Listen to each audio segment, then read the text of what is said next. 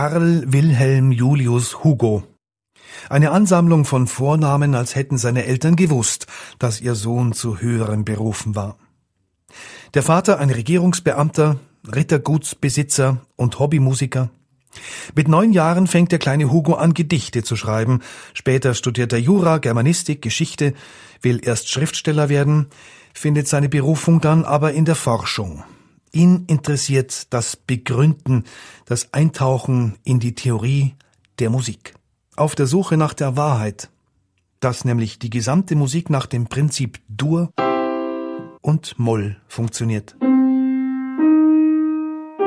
Auf diesem System baut Riemann sein gesamtes Denkgebäude auf. Hugo Riemann ist einer, der mal richtig aufräumen will, alles vorhandene Wissen konsolidieren und auf eine gute Grundlage stellen, logisch zusammenfügen will. Bisher war Musikgeschichte die Geschichte von den tollen Leistungen einzelner Musiker und ihrem Lebenswerk, konventionelle Heroengeschichte sozusagen. Davon distanziert sich Riemann. Er sucht nach Zusammenhängen und Gesetzmäßigkeiten, analysiert die Musik der Klassiker Haydn, Mozart, Beethoven, arbeitet Stilprinzipien heraus und entwickelt daraus eine ganze Kompositionslehre. Eine Kompositionslehre, mit der man ein einzelnes Motiv genauso erklären kann wie eine ganze Sinfonie.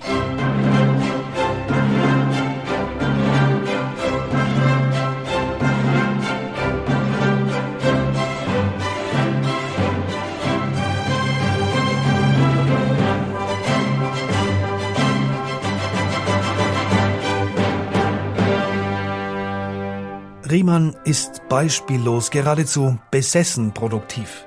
Ein Workaholic. 18-Stunden-Tage sind normal. In der Früh um vier steht er auf. Bald ist er der totale Außenseiter ohne soziale Kontakte. Das ficht ihn aber nicht an. Er macht weiter. Besprechungen, Lexikonartikel, Musikführer, Bearbeitungen und Übersetzungen musikwissenschaftlicher Schriften anderer Autoren. Er wird Lehrer, Professor, schreibt viel, sehr viel Musiktheoretisches und Musikwissenschaftliches, darunter 50 Monographien, über 200 Aufsätze zu allen Bereichen der Musik, ein großes Musiklexikon und eine große Kompositionslehre in zwei Bänden. Am Ende seines Lebens sieht er ein, dass er in manchen Dingen zu forsch, zu eng war, dass es nicht geht, über alle Musik dasselbe Dur-Moll-Raster zu legen und in Phrasen von acht Takten einzuteilen. Bei den Klassikern funktioniert es ja meist noch recht gut, schon in der Romantik, gar in der neuen Musik aber gar nicht mehr. Dennoch, und das ist vielleicht das größte aller seiner Verdienste, Hugo Riemann sorgt dafür, dass die Musikwissenschaft eine Musikwissenschaft wird, dass sie an den Universitäten als akademische Disziplin Einzug hält und man sie erstmals studieren kann. Bis heute, auch wenn sich die Studierenden nach wie vor mit Riemanns Funktions- und Harmonielehre herumschlagen müssen.